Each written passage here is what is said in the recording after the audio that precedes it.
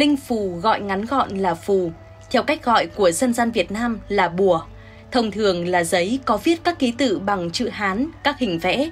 Chúng được các pháp sư, đạo sĩ tạo ra, mục đích tốt là chấn yểm trừ tà, hoặc với mục đích xấu là làm hại người, hại vật, đảo lộn âm dương, thiên địa. Ngoài việc phù được viết trên giấy, chúng ta đôi khi còn thấy phù được khắc trên gỗ, gọi là mộc phù, hay khắc trên đá, gọi là thạch phù. Việc khắc phù trên những vật liệu như gỗ hay đá, mục đích chính là để cho thời gian tồn tại của phù được lâu hơn. Tuy nhiên, không phải bất kỳ loại gỗ nào cũng có thể dùng để khắc phù, chỉ có thể dùng được ba loại gỗ là gỗ đào, gỗ táo và gỗ bách. Nói riêng đến phù, trong sách Vô Thượng Huyền Nguyên Tam Thiên Ngọc Đường Đại Pháp viết, hợp thiên địa chính khí gọi là phù.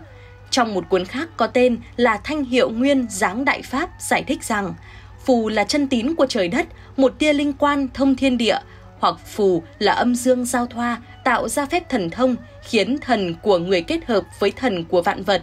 Tinh tinh tương bác, thần thần tương y, có thể chỉ là một mảnh giấy nhỏ mà sai bảo được quỷ thần.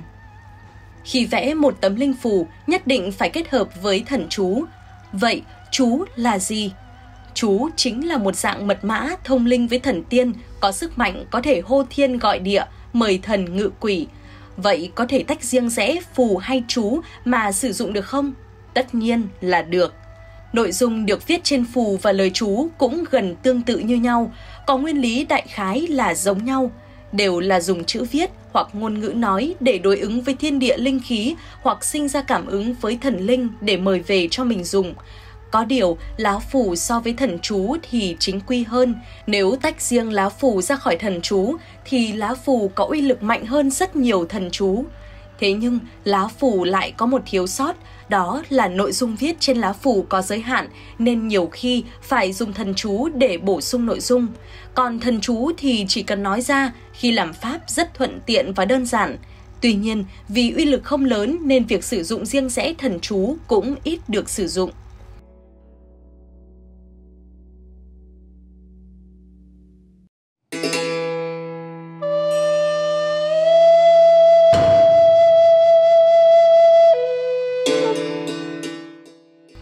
Linh phù sau khi tác pháp, tuân thủ đúng khoa nghi pháp kỷ, có thể trị bệnh, khu tà, su cát tị hung, thay đổi vận mệnh. Phù ở đây khi thực hành đúng từ khâu vẽ phù, tác pháp cho đến khi sử dụng, nếu tuân thủ đúng pháp kỷ thì linh ứng vô cùng. Phù bắt nguồn từ đạo, diễn dịch từ đạo, chính quả từ đạo, thuật quy từ đạo. Phù có sức mạnh làm chuyển động thiên địa, đảo lộn sơn hà. Thẳng tay có thể hàng long phục hổ, âm thầm có thể chinh phục quỷ thần, lớn có thể hỗ trợ an bang trị quốc, nhỏ có thể xua tan hoạn nạn, bệnh tật. Phù có nhiều công dụng, có thể đốt hòa vào nước cho người bệnh uống, có thể dán đầu hồi, ngoài cửa, bốn khắp trần nhà, yểm trên mồ mả, cây cối để thực hiện ý đồ của mình. Trong kinh sách, Hoàng Đình Độn Giáp Duyên Thân có giảng giải, lục giáp lục ất phù có thể bắt ma quỷ, lục nhâm lục quý phù có thể tránh hỏa hoạn, lục mậu, lục kỷ phù có thể tránh lũ lụt, lục canh, lục tân phù có thể trị rắn độc, trùng độc cắn. Những loại phù này có thể đốt hoặc nội phục hoặc dán trong nhà hay đem bên mình. Mỗi một loại phù đều có một công dụng riêng. Phù tùy theo uy lực lớn nhỏ mà chia thành tử, kim, lam hồng, hoàng, ngũ đẳng. Dựa theo công dụng chính thì chia thành thiên, địa, nhân, quỷ thần, ngũ bộ. Tinh tú đại phù có 28 loại, thiên cương trung phù có 36 loại, địa sát tiểu phù có 72 loại, các loại phù khác thì tổng cộng có hơn 1 ngàn. Phù thường được vẽ trên giấy vàng hoàng chỉ, giấy tuyên, có thể dùng mực chu sa hay mực tàu để vẽ. Tuyệt nhiên không thể in ấn hay photocopy bằng máy công nghiệp được. Những thứ phù được tạo bằng máy photo hay in ấn chỉ có một tác dụng duy nhất là làm giấy lộn mà ném vào sọt rác, cùng lắm có thể dùng ấn phù khắc trên mộc bản mà đóng ấn tạo phù. Tuy nhiên, vẫn cần có thần chú của người làm pháp.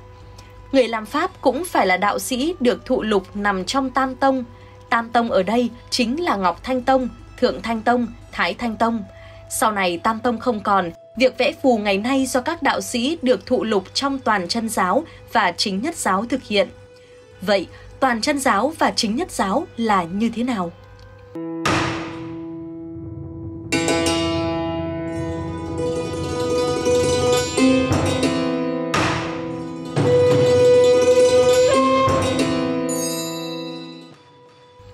Chính nhất phái, đạo sĩ có thể đến cung quán, có thể ở nhà tu hành, có thể cưới vợ, thành xa lập nghiệp, ăn mặn, uống rượu.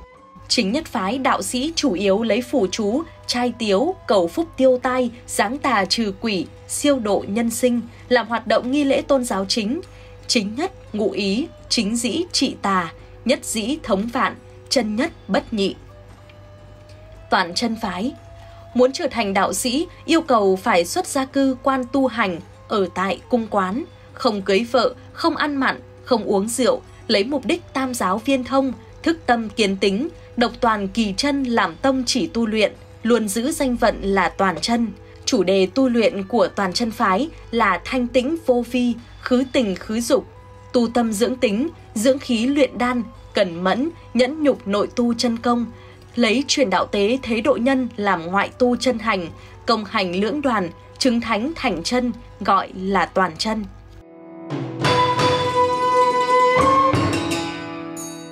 Tại sao khi vẽ phù phải dùng giấy hoàng chỉ, giấy tuyên màu vàng và viết bằng chu sa hoặc mực tàu? Màu vàng trong ngũ hành thuộc thổ đứng ở giữa, có ý nghĩa như thống lĩnh tứ phương. Dùng màu vàng tỏ ý tôn quý và linh nghiệm. Chu sa là khí thuần dương của trời đất, có công dụng trừ tà. Ngoài ra, chu sa màu đỏ có thể nhập thẳng vào tâm mạch, giữ thần khí tĩnh lặng. Kết hợp đọc thần chú khi viết thì sẽ có sức hiệu triệu quỷ thần, cầu phúc, tiêu hoạn nạn, sức mạnh vô biên. Tùy vào từng loại công dụng, mục đích mà đạo sĩ có thể vẽ bằng mực chu sa hay mực tàu, song tất cả đều phải theo nguyên lý sinh khắc của âm dương ngũ hành.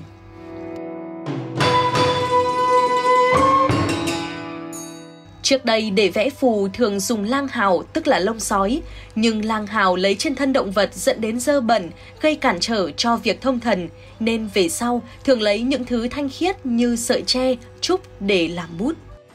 Nước để pha mực vẽ phù tất nhiên cũng có quy định nghiêm ngặt. Phù muốn thông thần thì chu sa cần phải dùng nước mưa để pha loãng. Muốn hàng yêu trừ tà thì lại phải lấy nước ở nơi quanh năm không có ánh nắng mặt trời. Trong trường hợp cần tăng cường khả năng công kích những thứ yêu tà, thì có thể pha thêm máu chó đen hoặc máu gà trống. Để lá phù được uy lực đến mức tối đa, thì có thể pha thêm chính máu của người vẽ phù tác pháp. Tuy nhiên làm như vậy thì không khác gì mang bản thân mình ra đánh cược. Khí tức của bản thân khi ấy sẽ liên thông với lá phù. Vì vậy, nếu như không cầm chắc thắng lợi, thì tuyệt đối không được làm.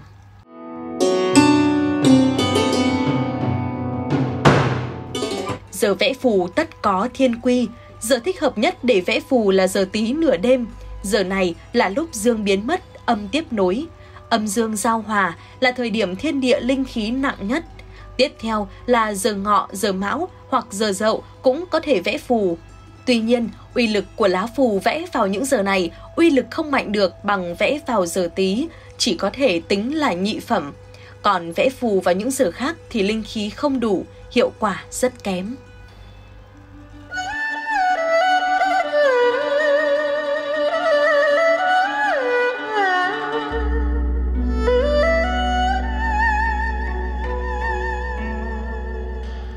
Kết cấu của một lá phù gồm 3 phần, phần đầu, phần giữa và phần cuối. Thiếu một phần lá bùa sẽ không có hiệu lực. Phần đầu có 3 gạch ngang ý chỉ tam thanh, phần giữa chính là nội dung lá phù. Phần này quyết định công năng của lá bùa, còn phần kết thúc thì nhất định phải đóng dấu pháp ấn. Pháp ấn là thứ gì?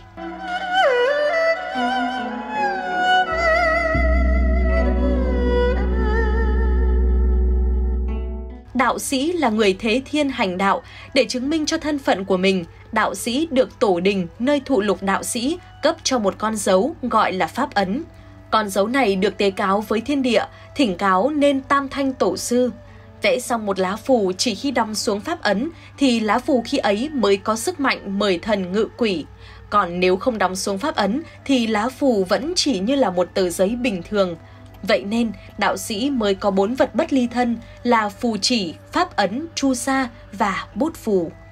Mỗi loại phù đều có cách sử dụng khác nhau, nhưng hầu hết là được đốt cháy. Ví như chấn thi phù thì không đốt cháy mà cần dán vào ấn đường của người chết. Hay như muốn chuyển vận, tức là phù để thay đổi vận mệnh thì phải treo ở vị trí Tây Bắc của phòng khách. Vị trí Tây Bắc thuộc càn, cung vị của chủ nhân nắm giữ vận hành chính trong gia trạch. Dùng khung kính có viền màu xanh lam, lồng vào khung treo lên. Xanh lam thuộc thủy, càn vị có thủy nên đại cát, càn thuộc kim tương sinh với màu xanh của khung ảnh. Miếng bìa ép phù dùng màu xanh lục, chủ yếu ám thị phát tài phát lộc, rồi suy tiếp mộc sinh hỏa, hỏa sinh thổ. Vậy nên giữa khung để màu đất, thổ làm nền. Thổ sinh kim, tức tiền tài ngọn nguồn tuôn trào, thổ có thể mang theo vạn vật, sinh trưởng vạn vật, nguồn sống của vạn vật. Các loại phù chấn trạch trừ tà, đào hoa, chiêu tài, chiêu quý nhân, cầu quan, khoa bảng, học hành, tùy theo từng mục đích riêng của gia chủ, kết hợp với mệnh lý từ đó mà các đạo sĩ sẽ có phương án tư vấn cách thức áp dụng linh phù sao cho hiệu nghiệm, linh ứng. Đạo sĩ thay trời hành sự, bị trời giám sát, nếu dùng bùa chú làm việc thiện thì tích lũy được công đức, nếu lấy bùa chú làm chuyện xấu thì chuốc họa vào thân, sẽ phải lấy công đức của bản thân để bù lại sai lầm. Nếu công đức không đủ bù tội nghiệt gây ra, thì sẽ bị trời phạt giảm đi tuổi thọ. Tuổi thọ đã bị cắt giảm, thì vĩnh viễn không có cách nào lấy lại được.